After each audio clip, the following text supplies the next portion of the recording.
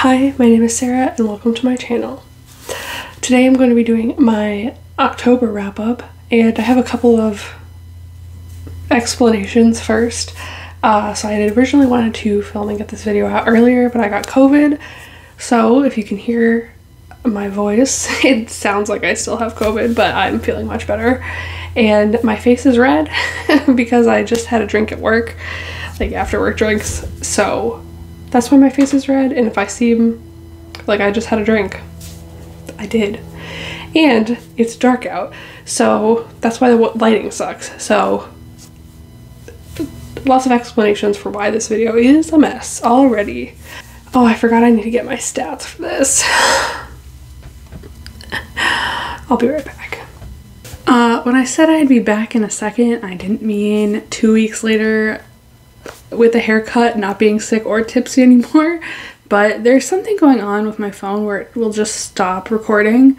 Uh, I'm like literally recording this for the second time today because it stopped recording the first time. Uh, so this is that. That's what happened when I tried recording this originally. I lost maybe three minutes of footage, so I'll go back to me from the past after this section. But I did want to talk about my stats for my reading month. I read a total of eight books, which was 200, sorry, 2,672 pages, making my average book, book length to be 334 pages per book. Everything that I read was adult fantasy, and as for the uh, format breakdown, I read four books physically, two books on audio, one book on ebook, and one book as a mix between ebook and audiobook. For the star breakdown, I had four three star books, one four star book, and three five star books. And three of the books that I read this month were translated. So I think that was all the stats that I had, and I did just want to lead into what I ended up talking about uh, when my video came back on uh, I was talking about the books that I have DNF'd in October. The first one being the. Dang it, I can't even remember the name of the book. The Foxglove King by Hannah Whitten, which is the first book in a trilogy, I believe. I don't think I talked about what this book was about, but I didn't like it, so I DNF'd it.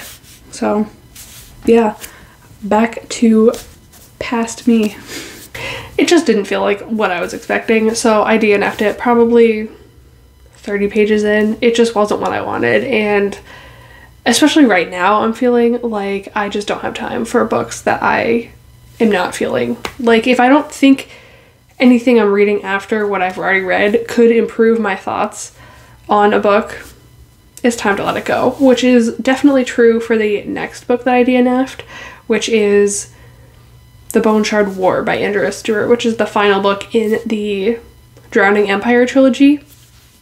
I got about 250 pages into that book, and I was like, is there anything in the next 350 pages that could make like a reading that much worth it?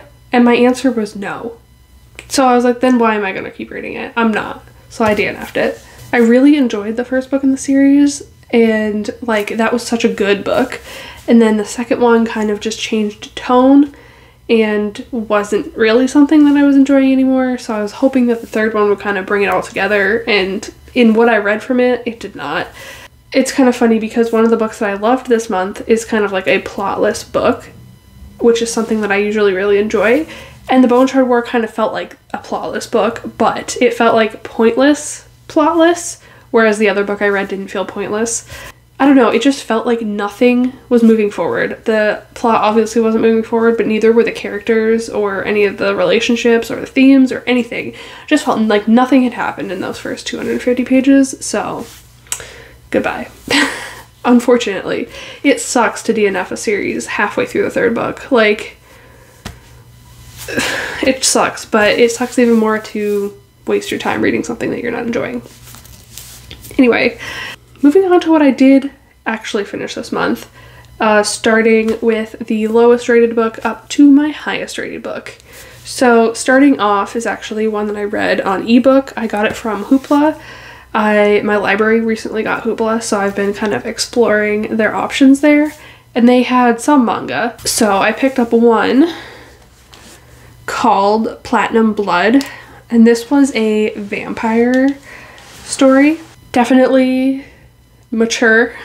I was reading it at work and I was like, oh my god. Thank God I'm in, like, my back is to a corner so no one can see what I'm reading on my phone right now. Um, it is a BL, but there were some themes in it that I thought were not great.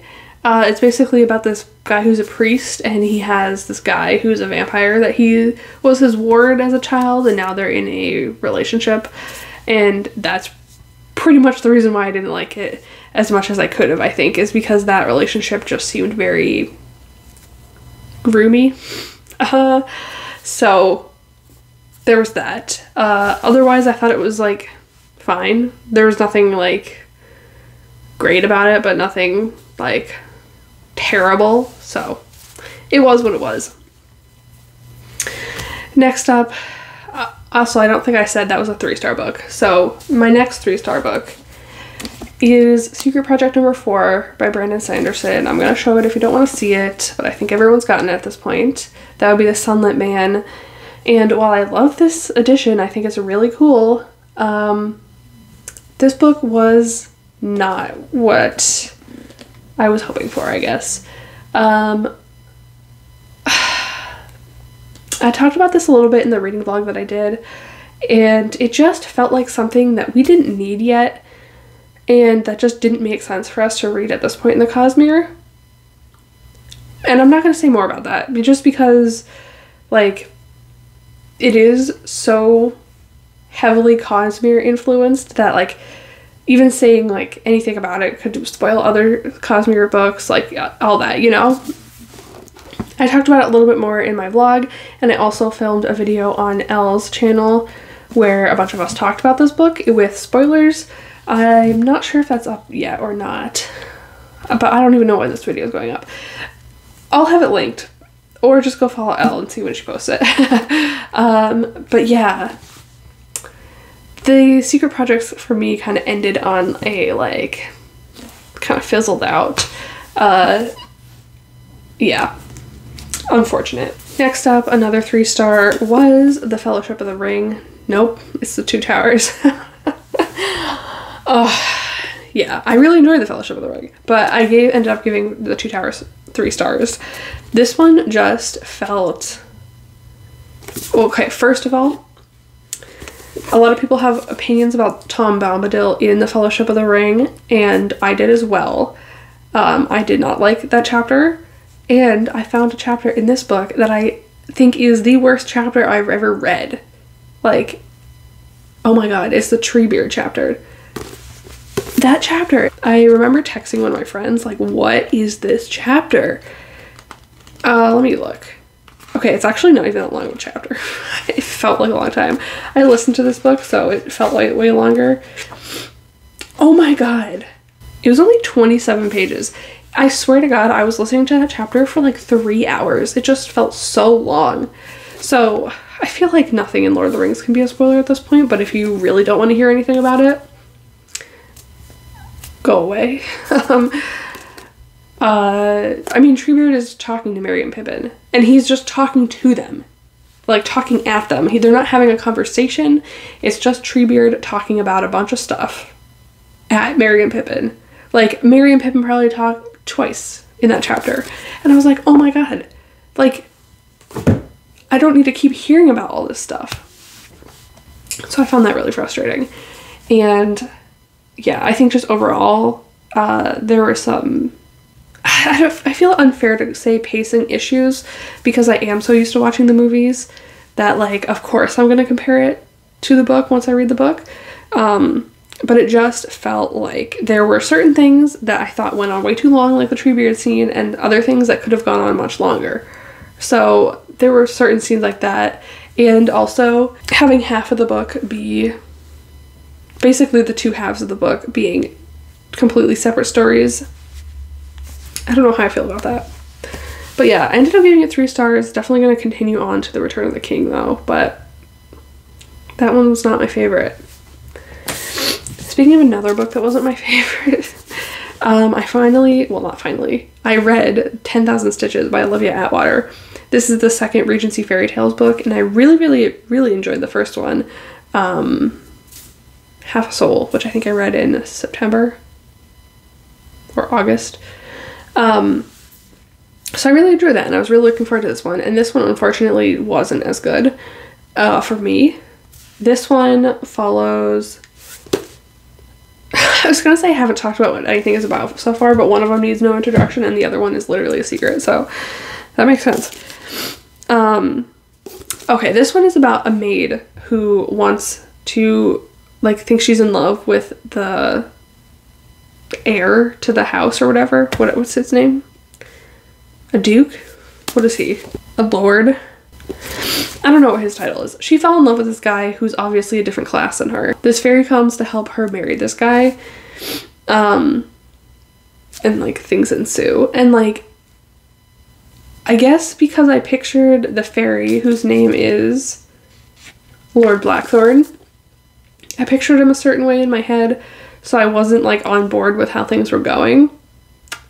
So that kind of like I think didn't help me, but also I just found it incredibly predictable.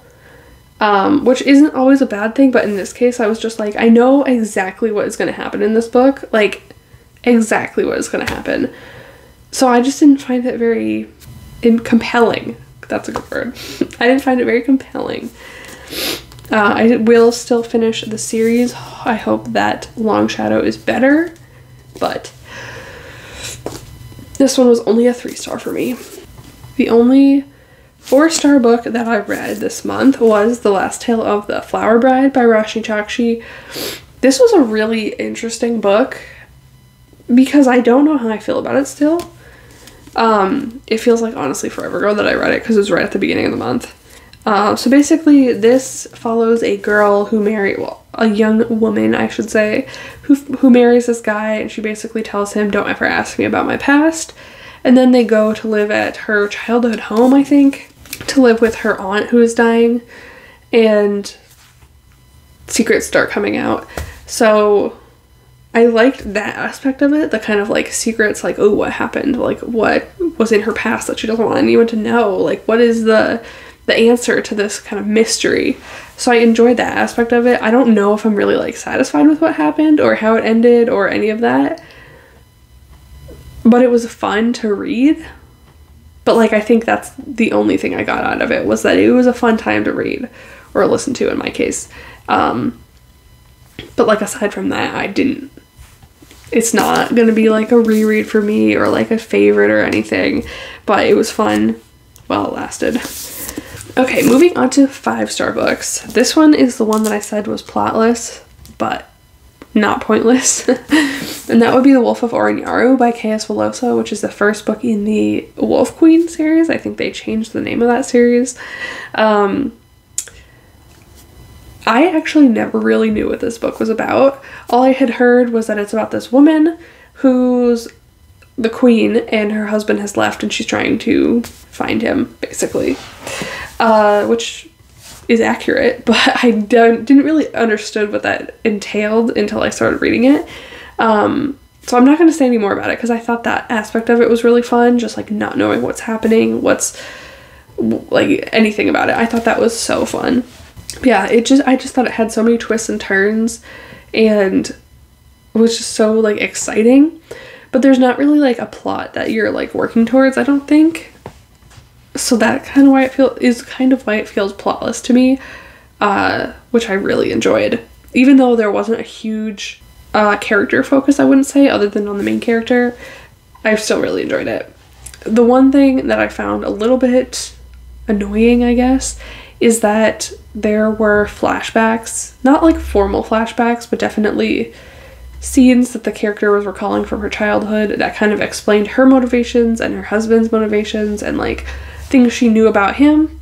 And I don't that those parts kind of broke the flow for me but I also think that they were important. So I don't fault the book for that but I do think those parts were slower for me to read So I'm super glad I finally read this. Uh, I've been wanting to read it for a while, and then I got the broken binding editions. So I'm really glad to have read it and enjoyed it because I have the other two books in this nice edition. I am going to be reading those eventually, but uh, I was talking to Afina from Afina Reads about this series, and she said that it's not really uh, necessary to read them like back to back, uh, which is good with me because it always takes me forever to get to anything. Um, but I did see that books two and three did have like a summary of the story so far, which I really, really appreciate. So yeah, I really enjoyed that. The next five star book that I have is The Memory Police by Yoko Ogawa. This one I have been seeing around for a while because it's not a new book. Um, and I bought a bunch of translated books recently, and this was one of them. And oh my god, I enjoyed this book so much. This is basically about an island where uh, every so often things get kind of like disappeared or wiped from the island, so people have to just like get rid of it, and basically all of their memories of that thing kind of go away. But there are certain people who don't unremember, forget, unremember who don't forget those things that they're supposed to be forgetting. So there is the memory police who comes in and punishes them for that. This one is another one that really kind of felt plotless and like you're like what is this tension building towards? Which I really enjoyed. I really enjoyed like just the vibe of this book. It felt so like eerie and quiet at the same time and just seeing this world as things continuously disappear, I thought was fascinating. Uh, there's a Spotify playlist that I'm going to link down below that I listened to while I was reading this book, and it was just like the perfect mood. So if you like listen to that playlist and you're like, oh, I like that mood, read this book. Um, I don't know. I think it does lean a little bit towards literary fiction, where it's kind of heavy on themes that you're supposed to be picking up, which usually is not my cup of tea, but I think occasionally done with something that's really interesting, like this was, it works really well for me. And this book is a prime example of that. I thought it was, I thought it was so good. I don't know what it means necessarily, but I enjoyed the things that it had to say while I was reading it. But definitely one that I will think about for a while. Okay. The last one that I read was Spy Family Volume 10. It was my favorite because, of course, it is. The beginning of this volume is a flashback for a certain character's story. Maybe you can tell who it is. Uh, and I really enjoyed that. I think that it has been a long time coming for us to see a little bit more of that backstory and what made that character who they are. So I really enjoyed that. Um, and actually, also, I think that where this volume left off, in terms of the mission, I think is really interesting and like could be progressing things a little bit. So I quite enjoyed this, and I'm so ready for the next one.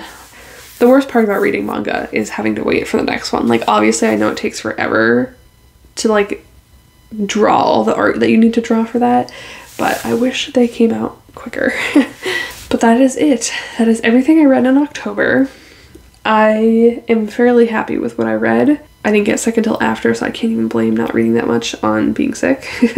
I think that was a well balanced reading month, honestly. Like, I read some stuff on audio, some physically, some manga, some novels. Felt good. I'm happy with it. And there are definitely some books on there that I've been wanting to get to for a while, and that, like, kind of feels good to have off my plate, at least for the ones that I DNF'd. Um, I have already DNF'd another book this month, so I'm sure you'll be hearing about a couple more that I DNF in November. Um, especially with like a TBR like mine, I have over 100 books that I haven't read yet. It just feels like if I'm not enjoying it, why do I have it? So I've gotten to that point and I am happy with it because yeah, I just want to be more intentional with the things that I'm buying and reading. But yeah, this is coming out way later than I wanted it to, but that's life, I guess.